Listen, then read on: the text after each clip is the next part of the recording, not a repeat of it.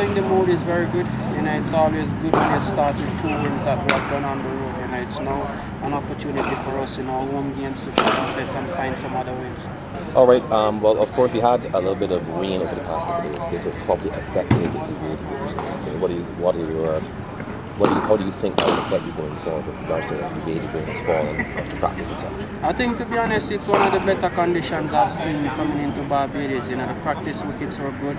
The guys told me that the wickets in the middle are good and it looks pretty good. You know, they had a they had a camp here before we the start of the CPL, so the cricket been playing on the wickets. So hopefully tomorrow we'll get some good wickets. Right. With regards to training, how, how are you feeling mentally ready?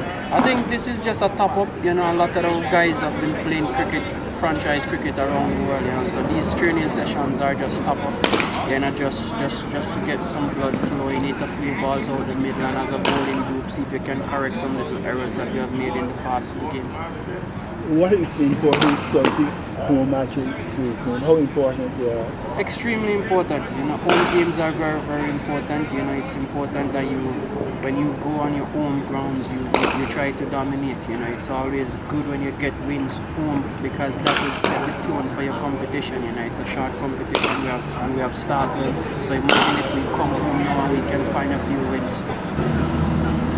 Any message to the Barbadian, your Barbadian fans?